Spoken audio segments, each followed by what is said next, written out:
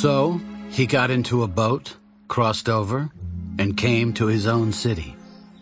Then, behold, they brought to him a paralytic lying on a bed. When Jesus saw their faith, he said to the paralytic, Son, be of good cheer. Your sins are forgiven you. And at once some of the scribes said within themselves, This man blasphemes. But Jesus, knowing their thoughts, said, Why do you think evil in your hearts? For which is easier to say, Your sins are forgiven you, or to say, Arise and walk? But that you may know that the Son of Man has power on earth to forgive sins. Then he said to the paralytic, Arise, take up your bed, and go to your house.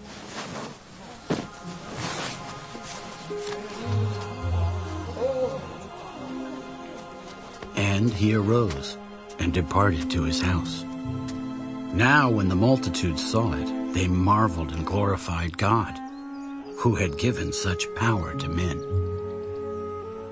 As Jesus passed on from there, he saw a man named Matthew sitting at the tax office. Follow me. So he arose and followed him. Now it happened, as Jesus sat at the table in the house, that behold, many tax collectors and sinners came and sat down with him and his disciples. And when the Pharisees saw it, they said to his disciples, Why does your teacher eat with tax collectors and sinners? When Jesus heard that, he said to them, Those who are well have no need of a physician, but those who are sick. But go and learn what this means. I desire mercy and not sacrifice. For I did not come to call the righteous, but sinners to repentance.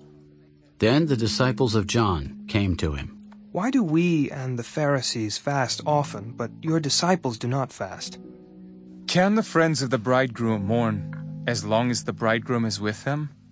But the days will come when the bridegroom will be taken away from them, and then they will fast. No one puts a piece of unshrunk cloth on an old garment, for the patch pulls away from the garment, and the tear is made worse. Nor do they put new wine into old wineskins, or else the wineskins break, the wine is spilled, and the wineskins are ruined. But they put new wine into new wineskins, and both are preserved. While he spoke these things to them, behold, a ruler came and worshipped him. My daughter has just died. But come and lay your hand on her, and she will live. So Jesus arose and followed him, and so did his disciples. And suddenly, a woman who had a flow of blood for twelve years came from behind and touched the hem of his garment. Oh, if, if only I may touch his garment, I shall be made well. But Jesus turned around, and when he saw her, he said, Be of good cheer, daughter. Your faith has made you well. And the woman was made well from that hour.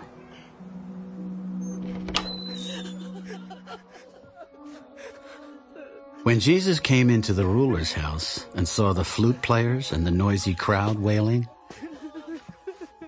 Make room, for the girl is not dead, but sleeping. and they ridiculed him. But when the crowd was put outside, he went in and took her by the hand, and the girl arose. And the report of this went out into all that land. When Jesus departed from there, two blind men followed him. Son of Son David, of David, have mercy on us. mercy on us. And when he had come into the house, the blind men came to him. Do you believe that I am able to do this? Yes, Lord. Yes, Lord. Then he touched their eyes, According to your faith, let it be to you. And their eyes were opened. And Jesus sternly warned them. See that no one knows it. But when they had departed, they spread the news about him in all that country. As they went out, behold, they brought to him a man, mute and demon possessed.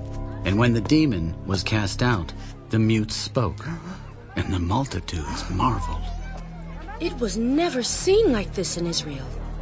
But the Pharisees said, He casts out demons by the ruler of the demons. Then Jesus went about all the cities and villages, teaching in their synagogues, preaching the gospel of the kingdom, and healing every sickness and every disease among the people. But when he saw the multitudes, he was moved with compassion for them, because they were weary and scattered, like sheep having no shepherd. Then he said to his disciples, The harvest truly is plentiful, but the laborers are few. Therefore, pray the Lord of the harvest to send out laborers into his harvest.